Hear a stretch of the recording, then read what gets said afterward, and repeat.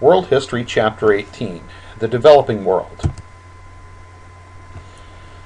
After World War II, a central goal in Africa, Asia, and Latin America was development, or creating a more advanced economy and higher living standards. Nations that are working toward this are referred to as the developing world. They are also called the Global South because most of these nations are south of the Tropic of Cancer. Most industrialized nations are north of the Tropic of Cancer, so they are sometimes called the Global North. Nations of the Global South have tried to develop economically by improving their agriculture and industry. They have also built schools to increase literacy.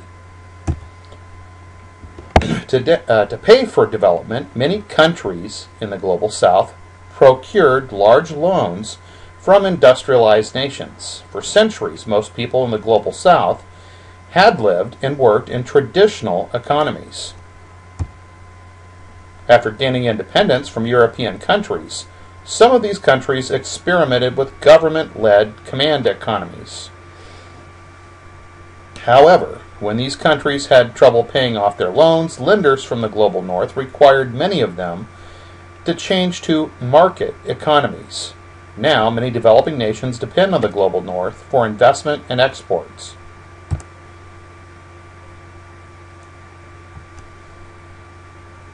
The Green Revolution. Beginning in the 1950s, improved seeds, pesticides, and mechanical equipment led to a green revolution in many parts of the developing world. This increased agricultural production, feeding many more people. It also benefited large landowners at the expense of small farmers. These farmers sold their land and moved to cities.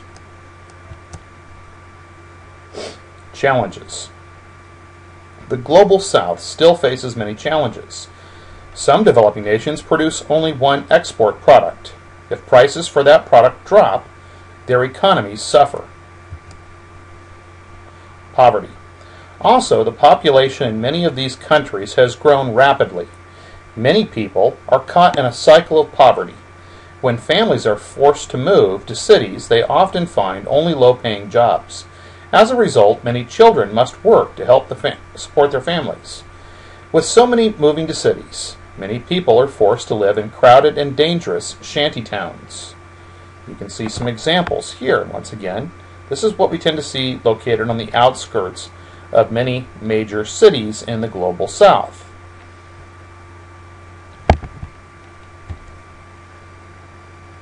Advances for women. Economic development has brought great ch- changes to the developing world. In many countries, women have greater equality. However, some religious fundamentalists oppose these changes and have called for a return to the basic values of their faiths. Africa seeks a better future. After World War II, African nations had little capital to invest, so they had to make difficult economic choices. Some nations chose socialism, a system in which the government controls parts of the economy. The leaders of these governments had hoped to end foreign influence in their countries and to close the gap between the rich and the poor. However, socialism sometimes led to large, inefficient bureaucracies. Capitalism. Other nations relied on capitalism or market economies. These economies were often more efficient but foreign owners of businesses took profits out of the country. Some governments tried to fund development by growing crops for export rather than food crops. However, this forced them to import food to replace the food crops. Governments then had to subsidize part of the cost of importing food from overseas. Desertification. African nations faced many obstacles to development. Droughts led to famine in parts of Africa, and this was especially true in the Sahel, where overgrazing and farming led to desertification. Here we have a look at life expectancy around the world. Now, what you see is the dark green areas, particularly Japan, uh, Australia, and a few other isolated countries uh, in Europe. the life expectancy is 80 plus in the United States, Canada, Mexico, uh,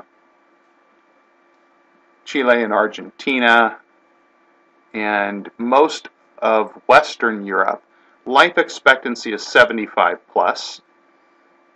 The yellow areas, which includes a lot of South America, a few areas in Central America, uh, some North African countries, most of Eastern Europe, and parts of Asia, life expectancy would be 70 plus. The orange is 60 plus, and as you move into darker reds, 50 plus or under 50 in the darkest red.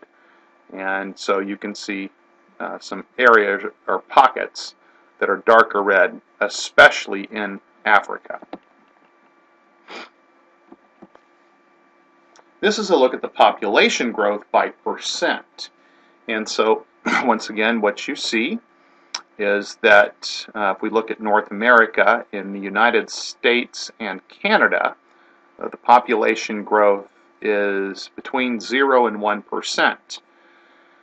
And that is consistent with most of Western Europe and also uh, parts of Asia and um, also Australia, a few isolated parts of Africa.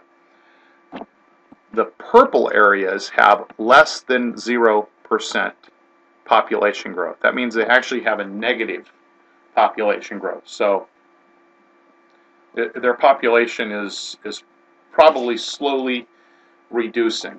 Uh, in other words, there are more more people passing on or pass away than are born uh, the birth rate doesn't keep up with the death rate. And uh, those are in the, the purple countries. Now, in the light blue, the uh, population growth is at 1%. The green, it's at 2%. And the yellow is at 3%. And the only places really you see the yellow are in, uh, well, for the most part, on the African continent, uh, a little bit uh, down here. Um, on the end of the Arabian Peninsula, or yeah, the Arabian Peninsula. Uh, Yemen looks like. Um, you know, a lot of Africa is in the green at 2%.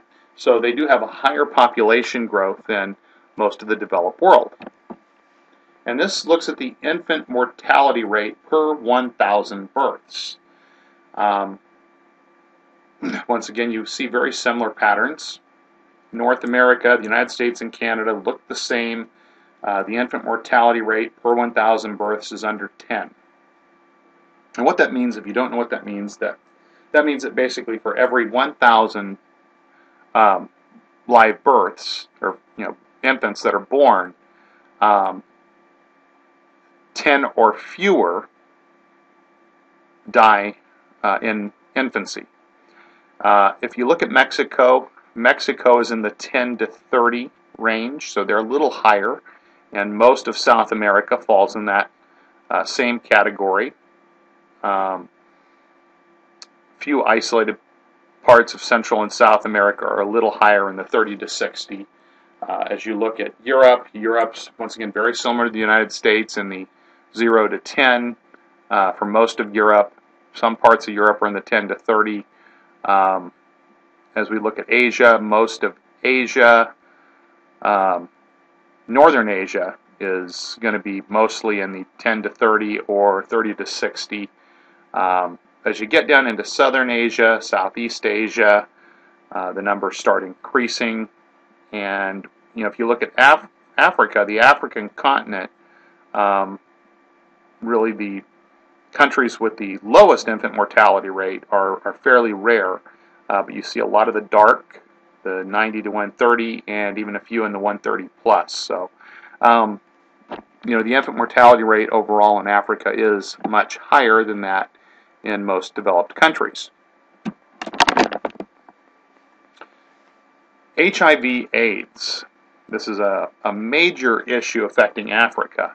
25 million of the 38 million infected with AIDS live in Africa.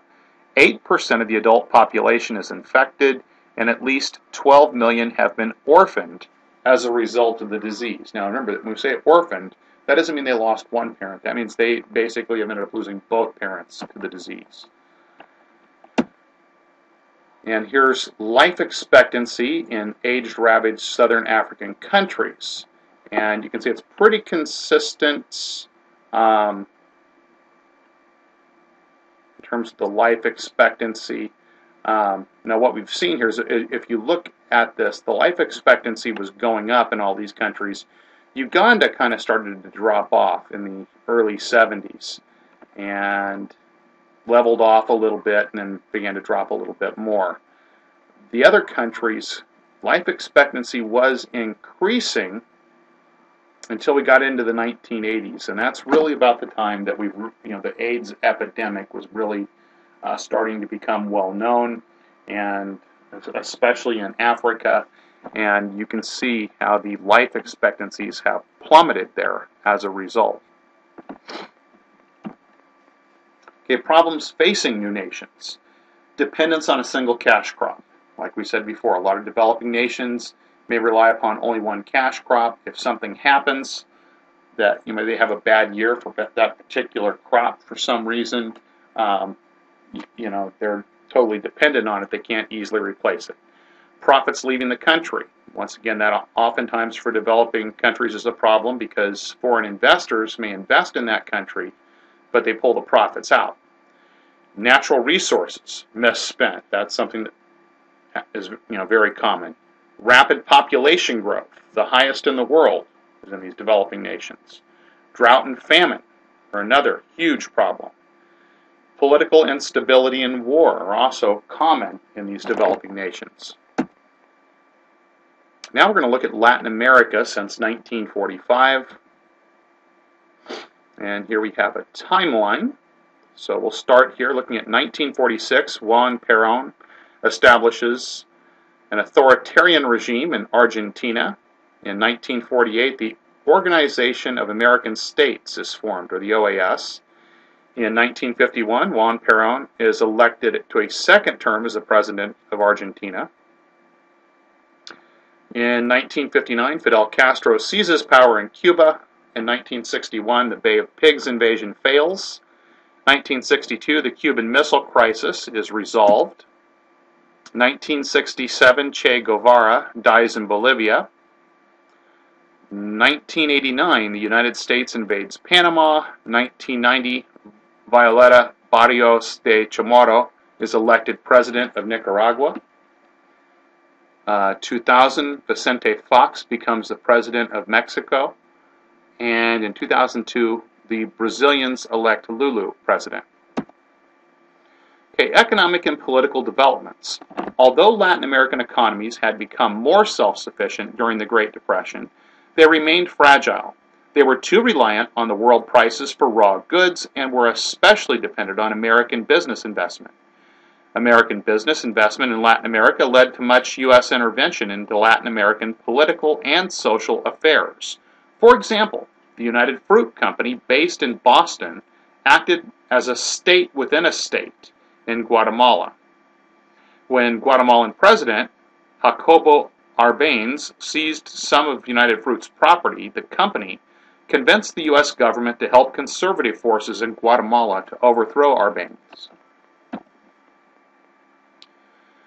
In 1948, the Organization of American States was formed. The OAS emphasized the need for Latin American independence. The OAS did not lead to the end of U.S. intervention in Latin America, this was mainly due to the fear of communism during the Cold War era. The U.S. kept a close watch on radical movements in Latin America and provided massive amounts of military aid to anti-communist regimes friendly to U.S. business interests, even if it meant backing dictators. Radical social and political movements appealed to many in Latin America because of the weak economies which led to unstable governments. Dictators were able to take power during times of worker unrest because they had the support of the military and the conservative elites. Dictatorial regimes often encouraged multinational corporations to invest in Latin America, increasing their nation's dependence on industrialized nations. In the 1970s, Latin American countries began borrowing money from other nations. As the debt grew, economies crumbled, and, and soon many nations could not even pay the interest on their loans. This drove them to the international organizations like the World Bank, who would loan the money only if certain reforms were made. Recurring economic crises led to the demand for democracy because some military leaders did not want to deal with the debt problem and because people recognized that a dictator could not create a strong state without popular support. The new democracies face tough challenges with not only the economies but also with the strong drug trade in Latin America. Rapid population growth caused by a high birth rate exacerbated Latin America's economic problems. In 1950, the Latin American population was roughly 165 million. By the mid 1980s, it had grown to 400 million. By 2000, 50 cities in Latin America and the Caribbean had more than a million people, many of whom are recent arrivals who live in slums or shanty towns. Here we have a look at the population of Latin America between 1950 and projected out to 2020. Um, when this was done, I think this graphic was probably done around 2005. Uh, the, what we saw for 2010 was a projection, and 2020 also was a uh, is a projection. Uh, but you can see where it was at 166 million in 1950. It went up to 218 by 1960. 286 by 1970, 362 by 1980, 443 by 1990, 520 by the year 2000. It was projected to hit uh, 586 by 2010 and 645 in 2020. Many Latin American cities are huge. Mexico City, the world's largest, has more than 18 million inhabitants, as compared to 8 million in New York City. Megacities such as Mexico City and Rio de Janeiro have grown up so fast that housing, water supplies, and schools cannot keep up. As a result, many residents live in favelas, or squatter settlements lacking in basic infrastructure. Latin American societies are marked by an enormous gap between the rich and the poor. Latin American writers and artists have been granted a high public status because they can express the hopes of the people and their criticisms of government. In literature, Latin Americans developed magic realism, a merging of realistic events with dreamlike or fantastic backgrounds. The novel 100 Years of Solitude by Gabriel Garcia Marquez is one of the foremost examples of a work written in this style. In 1982, Marquez was awarded the Nobel Prize for Literature. In art, abstract forms dominated. In architecture, Bauhaus and modernist styles were seen. Brasilia, Brazil, designed mostly by Brazilian architect Oscar Niemeyer, reflects this modern aesthetic. And here we have a look at some of the economic challenges in Latin America. They're dependent on the US, Europe, and Japan. They have export import economies that are financed by foreigners, the presence of multinational corporations, low wages with high inflation, and growing foreign debt. The Mexican way. Mexico differs from many other Latin American countries in that it has a relatively stable democratic government and it is more industrialized. Yet, they are too dependent on foreign loans. Also, most Mexicans are poor, leading to large amounts of legal and illegal immigration to the United States. For most of the 20th century, the official political party in Mexico was the Institutional Revolutionary Party, or the PRI. This was the party of the Mexican Revolution of 1911. By the 1960s, students began to challenge the PRI's monopoly, leading to reforms including the formation of new political parties. In 2000, Vicente Fox defeated the PRI candidate in the presidential election. So far, Fox has been unable to make the changes that he promised, but he did initiate talks with President Bush concerning immigration. The Cuban Revolution. In the 1950s, an opposition movement arose in Cuba, led by Fidel Castro. Its aim was to overthrow dictator Fulgencio Batista. Castro's revolutionaries gained control of Havana in 1959. Many Cubans disagreed with Castro and fled to the United States. Relations between the United States and Cuba quickly deteriorated as Castro began to receive aid from the Soviet Union and arms from Eastern Europe. In October of 1960, the United States declared a trade embargo, prohibiting trade with Cuba. In January of 1961, the United States broke diplomatic relations with Cuba. In April of 1961, U.S. President John F. Kennedy supported an attempt to overthrow Castro's government. The attempt failed. The Soviets then placed missiles in Cuba, leading to the Cuban Missile Crisis. The Cuban economy relied on Soviet aid and the purchase of Cuban sugar by Soviet bloc countries. When the Soviet Union collapsed, Cuba lost its support. Cuba's economy has continued to decline. And here we have a map of Central America. So here you can see the countries that make up Central America. You have Belize, Guatemala, El Salvador, Honduras, Nicaragua, Costa Rica, and Panama. Upheaval in Central America. The economies of Central American countries rely on the export of bananas, coffee, and cotton. Prices for these goods have varied over time, causing economic crises. The gap between the rich and the poor in Central America causes instability. The fear of the spread of communism in the region caused the United States to support repressive regimes. In the late 1970s and 1980s, El Salvador had a bitter civil war. During Ronald Reagan's presidency, the United States gave military aid to the Salvadoran army to defeat the Marxist led guerrillas. Finally, in 1992, a peace settlement ended the war. In 1937, the Somoza family gained and kept control of Nicaragua until 1979. The United States supported this repressive regime. In 1979, the United States refused to support the regime any longer. Marxist guerrilla forces known as Sandinistas gained control of Nicaragua. The Contras, a group opposed to the Sandinistas, tried to overthrow the government. The Reagan and Bush administrations supported the Contras.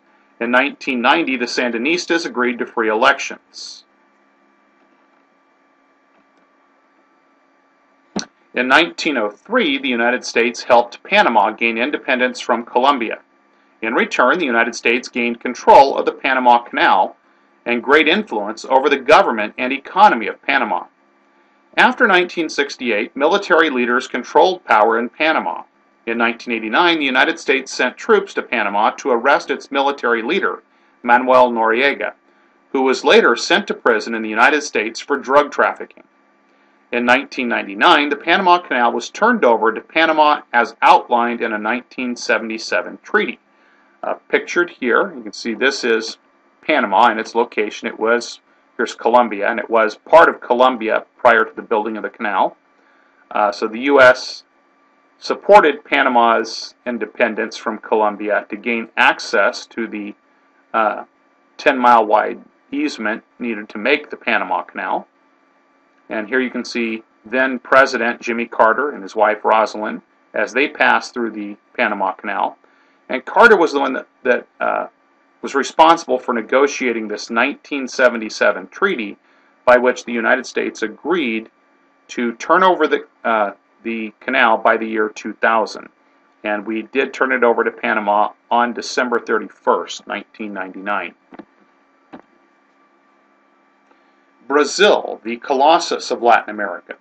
After World War II, Brazil's democratically elected governments were unable to solve the country's severe economic problems. In 1964, the military seized control of Brazil.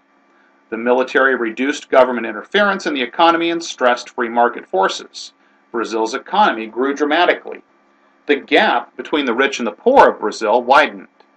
The inflation rate grew to 100% a year. The military regime was replaced by a return to democracy in 1985. A massive foreign debt, severe inflation, and a lack of social unity faced the new democratic government. In the 1990s, a series of democratically elected presidents led to some stability in Brazil's economy. Argentina and Chile. For years, Argentina was ruled by a powerful oligarchy. In 1943, a group of military officers overthrew the oligarchy. Juan Perón used his position as labor secretary in the military government to win over the working class. He encouraged them to join labor unions and he increased job benefits. Juan Perón was elected president of Argentina in 1946. To please his main supporters, labor and the working middle class, Perón increased industrialization. He worked to rid Argentina of foreign investors. His regime was authoritarian. The Falkland Islands. Perón died in 1974. A new military regime took power in 1976. To divert people's attention from the economic problems, the regime invaded the Falkland Islands, but was defeated by Great Britain. In 1983, Raul Alfonsín was elected president of Argentina and worked to restore democratic practices. In 1989, Carlos Saul Menem won the presidential election. The peaceful transfer of power gave rise to hope for democracy in Argentina. In 1970, Marxist Salvador Allende was elected president of Chile. He increased the wages of industrial workers and nationalized the largest domestic owned corporations. Here you can see the stamp here depicts Salvador Allende, and here he is with uh, Cuban leader Fidel Castro. And here you see uh, the um, former president of Venezuela, Hugo Chavez, who uh, just passed away last year, uh, holding up a flag with Allende's picture on it. Nationalization of the copper industry angered American owners of the copper company, or yeah, of the copper companies in the American government. In 1973, fearful of Allende's growing support, the Chilean army, led by General Augusto Pinochet, overthrew Allende's government. The military set up a dictatorship with Pinochet as its leader. Pinochet's government was one of the most brutal in Chile's history.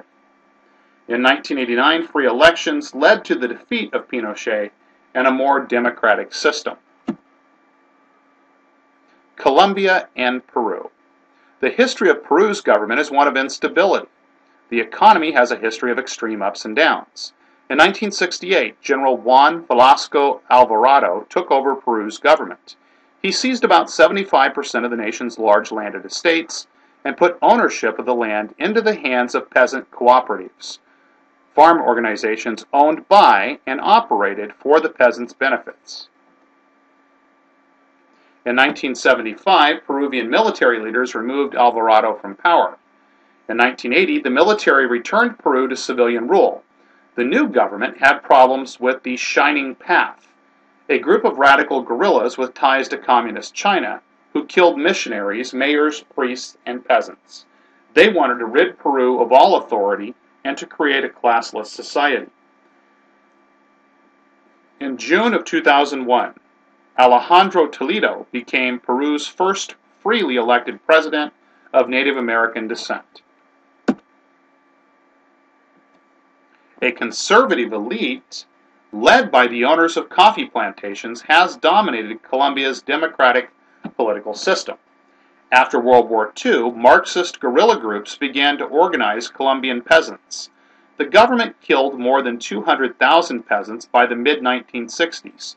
Violence continued through the 1980s and 1990s. Poor peasants turned coca leaves used to make cocaine as a cash crop. The drug trade increased under powerful cartels. The United States and Colombian governments have waged an aggressive war on drugs. High unemployment continues to stifle economic growth, and in 2002, Alvaro Uribe won a landslide presidential victory and has taken a hard line against guerrilla rebels. Uh, the pictures here on the left are both of uh, the famed Colombian drug lord Pablo Escobar. And here you can see uh, he was the head of the Medellin cartel, uh, one of the two big cartels. The other would be the Cali cartel. And uh, here you can see people, part of the search party that was responsible for tracking him down, uh, posing with the body. And here we have a look at some of the different uh, countries, just to kind of summarize, looking at the country, the conflict, the revolution, change, and cooperation that has come. In Cuba, corruption and canceled elections create unrest. Castro ousts Batista. Castro improves the social welfare system, but suspends elections. And Castro allows limited foreign investment, improving relations with Canada and other countries. Nicaragua. The repressive Somoza regime owns a quarter of the country's land, the revolution, a social movement led by Sandinistas, overthrows the Somoza in 1979. The Sandinistas initiate social reforms but are hampered by the Contras. Sandinista regime agrees to hold free elections in 1990 and Chamorro is elected president. Mexico. The PRI dominates. University students protest government policies. The PRI allows new political parties and more freedoms and Mexico elects non-PRI candidate as president. Argentina, the economy is poor. Argentine military overthrows Peron. The economy recovers, many citizens lose lives to death squads. Democracy is gradually restored after the Falkland Islands disaster. El Salvador, the elites control most of the wealth and land. Leftist guerrillas and right-wing groups battle UN sponsored peace agreement ends the civil war in 1992 and the economy grows. Ties with neighbors are renewed.